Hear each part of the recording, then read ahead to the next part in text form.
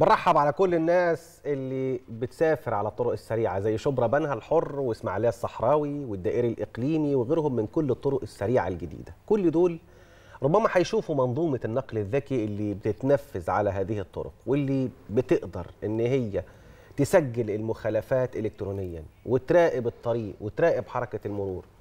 خلينا نقول إن كمان هيبقى في شاشات كبيرة هتعرف السائقين أماكن الزحام وهتعرفهم أيضا درجات الحرارة والشبورة والسرعة المحددة كل ده علشان يبقى فيه نوع من أنواع تسهيل الحركة وتقليل معدلات الحوادث.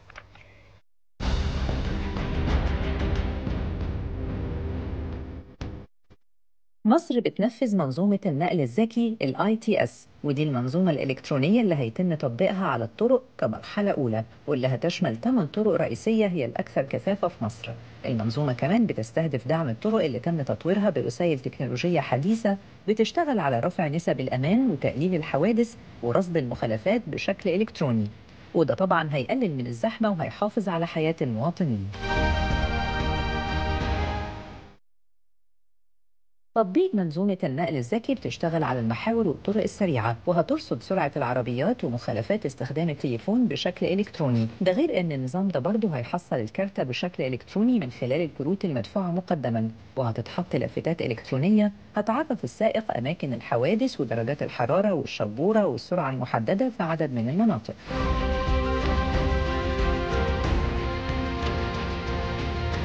الطرق اللي بتتنفذ دلوقتي وهتشتغل عليها المنظومة الجديدة كمرحلة أولى هي طريق شبرا بنها القاهرة السويس والقاهرة الإسماعيلية بورسعيد والقاهرة الإسكندرية الصحراوي والطريق الدائري الإقليمي والدائري القاهرة الكبرى والقطامية والعين السخنة والطريق الدائري الأوسطي. الهدف من إنشاء المنظومة هو متابعة ومراقبة وإدارة حركة المرور على الطرق علشان يكون في ضمان لزيادة معدلات السلامة والأمان وتحسين الكفاءة التشغيلية للطرق عن طريق تطبيق تقنيات التكنولوجيا الحديثة. المنظومة كمان هتساهم بقدر كبير في تقليل نسب الحوادث وسرعة الاستجابة للطوارئ على الطرق وتقليل نسب التلوث عليها بالإضافة للوصول لرؤية شاملة ومتواصلة لتحركات العربيات والدقة في تسجيل المخالفات. وده هيترتب عليه تحسن في المؤشرات العالمية للاستثمار في مصر.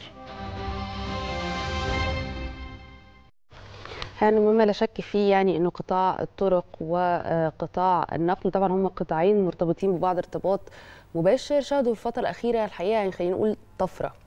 للأسف إحنا كانت الطرق عندنا يمكن كان في بعضها موجود بالفعل لكن كانت غير مهيئة كانت قديمة.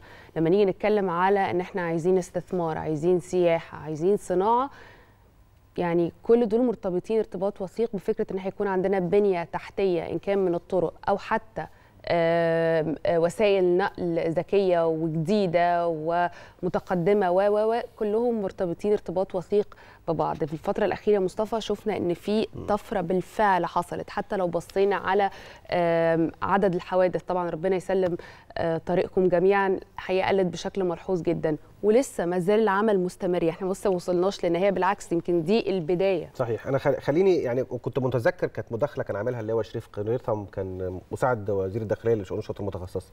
كان بيتكلم تحديدا على قصة واحدة بس قصة الفلاشات اللي إحنا بنشوفها وإحنا رايحين جايين في كل الطرق دي. الناس معتقدة إن هي بتسجل السرعة بس. لا. هو قال إن في النظام ال analytic تحديدا بيعمل بيسا بيحلل الحزام وبيحلل الأكل وبيحلل كمان لو أنت رايح من النقطة دي للنقطة دي. فأنت المفروض تمشي أو ماسك التليفون آه أو, مس... لو المسافة دي مثلا المفروض تمشيها كده. ففي ناس تعمل إيه؟ تجري تجري تجري وقبل بتاعته تقوم مهديه لا. هو الموضوع في تقنيات الاي اي أو الذكاء الاصطناعي هتقدر تحلل ده لوحده وتبعت لك الرسالة على الموبايل بتاعك وتقول لك أنت عملت مخالفة سرعة وأنت تقول إزاي؟ ده أنا جاي ومهدي عند 80 وبيحسب من النقطة دي للنقطة اللي بعدها.